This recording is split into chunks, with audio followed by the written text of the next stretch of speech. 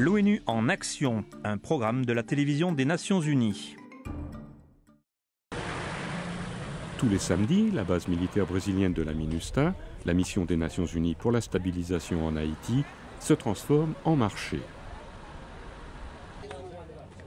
Les articles les plus populaires ici sont des soldats de bois qui se vendent, suivant leur taille, de 15 à 200 dollars américains. Germain Manas est le créateur du projet. Si vous passez à 10h30, il n'y a déjà plus rien. Quand tous les militaires brésiliens prennent un soldat, tout est déjà vendu. Ça prend une, ça prend une, ça prend une, et puis tout fini. Le lieutenant-colonel Anuruddha Seneviratne de la MINUSTA. Aujourd'hui, j'ai passé une commande pour plusieurs soldats. J'en ai commandé trois. Trois commandants de contingent quittent le pays la semaine prochaine. Nous voulons leur offrir un souvenir de la MINUSTA. Ces figurines en bois sont sculptées à la main au centre-ville de Port-au-Prince, près de la grande rue commerciale, dans l'atelier de Manas. 120 à 150 soldats sont fabriqués ici tous les mois. Ceci rapporte des revenus réguliers aux artisans comme Jean-Samuel Rosenberg.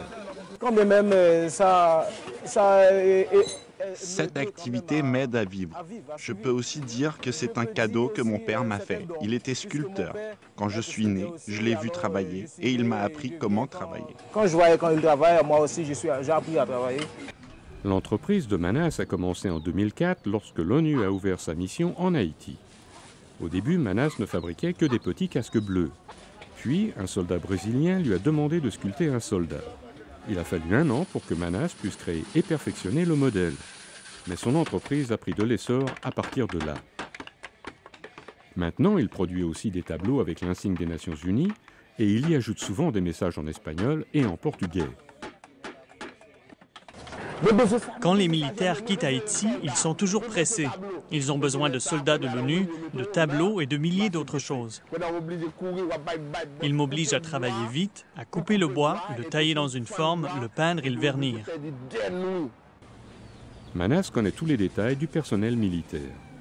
La peinture des petits soldats est la dernière étape de sa production.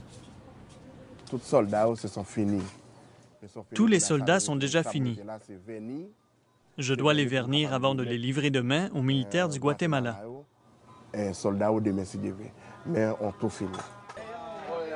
Le vernis est à peine sec, mais les clients sont déjà là.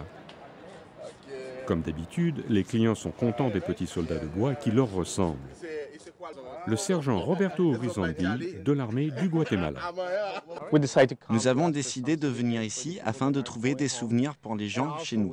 Normalement, nous demandons aussi des souvenirs pour ceux qui viennent nous rendre visite. Manès est un bon artisan. C'est pourquoi nous venons ici. Manas est toujours prêt à prendre d'autres commandes. Sa boutique est située de l'autre côté de la route du quartier général de la Minusta et c'est un lieu stratégique pour son entreprise. Grâce à l'aide de son équipe et la demande continue de ses soldats spéciaux, ces artisans peuvent vivre une vie économiquement stable et d'espoir.